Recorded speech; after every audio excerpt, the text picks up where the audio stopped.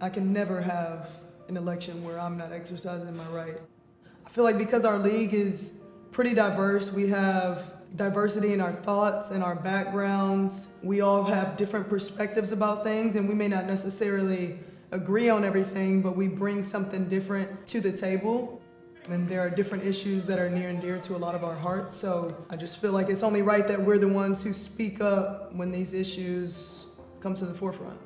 I mean, before this was happening, I wasn't doing anything. I would make sure that I voted locally for the president, but I wasn't involved the way that I wanted to be. For my own personal journey, even as a black person, I had so much more that I wanted to do, so much more that I needed to be educated on, and this presented that opportunity. I think we're used to being the league that people aren't necessarily talking about in like a positive way. There's always backlash with what we do, but it doesn't stop us from being united and being strong in the messages that we want to send and backing one another. Even if it is black issue, like what's going on right now, the white players aren't silent. It's the least we can do is have, have each other's back.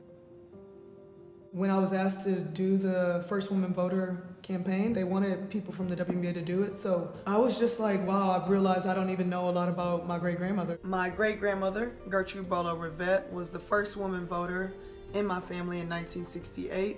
Now that I'm actually reaching out to people in my family to find out things about her, she had a tough life, but she was a very strong woman. She only had a third grade education, but she would take my grandma and, and the rest of her kids to night school with her. She was just spending her whole life doing for others and working, but she wanted to show her kid no matter your situation, you can choose to do something about it. You know, you could try your best. It was an exciting moment to learn about her, but it was also sad to hear about how her life went. Learning that, uh, you know, she was a part of the NAACP and she wanted her kids and her family to know like it was important to be involved politically as a black person. I just feel like she was just a strong woman. I understood after hearing about her why all the women in my family are the way they are because they took after her. But I think that there's power in groups of people speaking up when you see that something is wrong. So yeah, I think that that's my individual hope that we can inspire not just adults but little kids. If you see something that is wrong, like say something.